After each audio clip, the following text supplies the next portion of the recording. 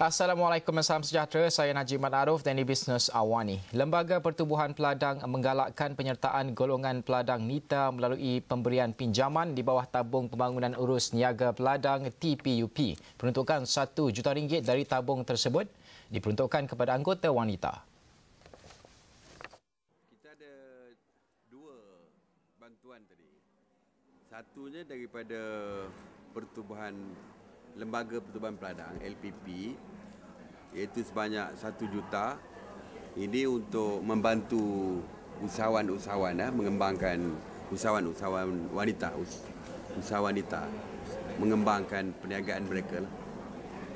dan yang keduanya daripada nafas nafas memperuntukkan sebanyak 10 juta juga untuk tujuan yang sama Pagi ini, Menurut Menteri Pertanian dan Industri Asas Tani Datuk Sri Ismail Sabri Yaakob, meskipun tabung ini dibuka untuk semua anggota pertubuhan peladang lelaki dan wanita, namun 30% akan diperuntukkan kepada anggota wanita. Katanya kerajaan melihat golongan wanita sebagai rakan strategik dalam pembangunan negara memandangkan ia mewakili 49% daripada jumlah keseluruhan penduduk Malaysia.